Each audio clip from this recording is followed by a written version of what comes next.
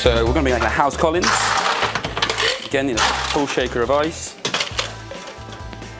Using the Bullard strawberry and black pepper gin. And a double shot. Shot of lemon juice.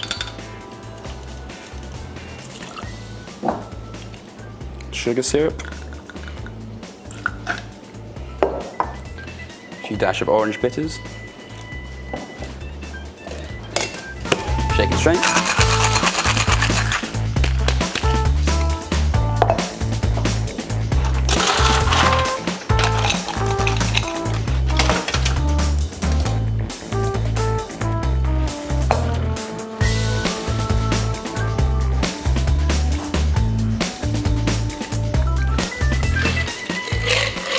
Top with a bit of soda.